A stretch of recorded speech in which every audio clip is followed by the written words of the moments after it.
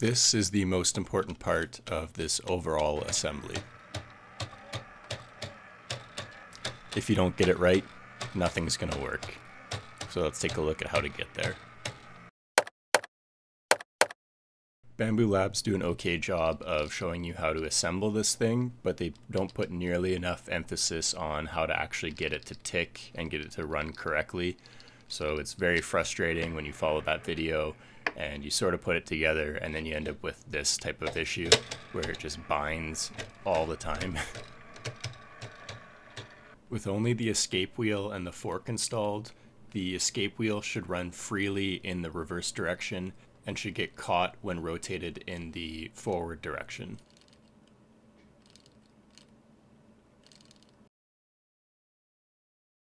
The balance shaft interacts with the forks in two ways.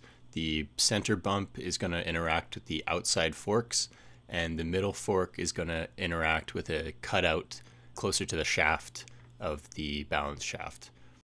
You can see in this clip that the center fork is actually being engaged by the balance shaft tab. So I took a knife and I just scraped away the top until it was free and clear and that tab was only actuating the outside forks.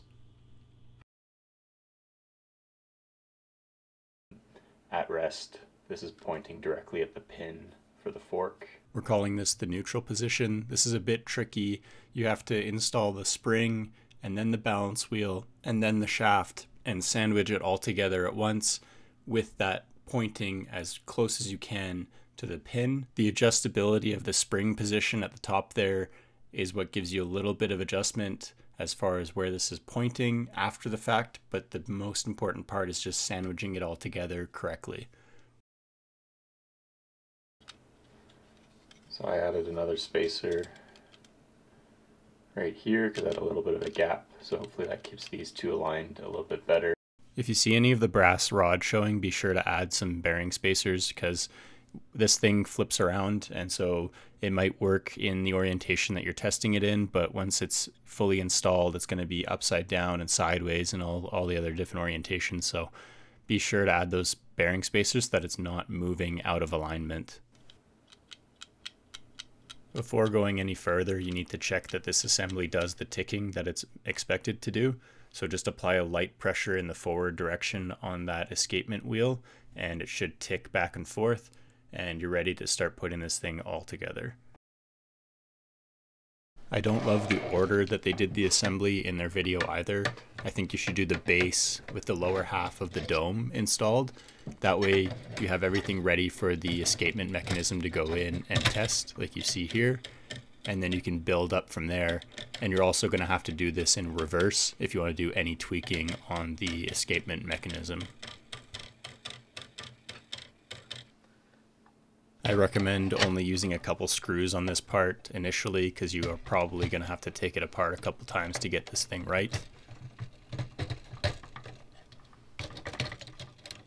but you'll just have to do these steps in reverse if you want to get back to that escapement mechanism and make any adjustments.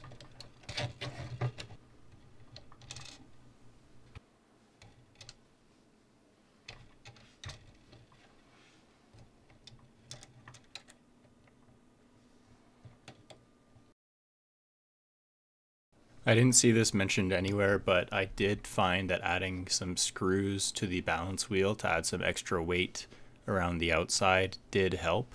I found that it gave it just that little bit more inertia swinging back and forth and it made my escapement mechanism work just a little bit more consistently. I think this is maybe a byproduct of the motor that they provide in the kit being too slow and just underpowered and so I don't think the, the plastic was getting enough momentum back and forth to actually keep it going. So I found that the uh, the weights did help your mileage may vary. This may or may not help your mechanism work, um, but it is what helped mine finally be a little bit more consistent. Now, all that being said, this thing still isn't perfect. Mine's not running 100%. I think the longest I've had it run is about 5 to 10 minutes without getting a jam, um, but it does still jam occasionally. It's a great model, it's very cool. It's a bit frustrating to put together with the provided instructions, but hopefully this video does help someone out. and helps you put it together and have it be at least mostly functional. I hope that helps someone out there. Thanks for watching, and I'll see you in the next one.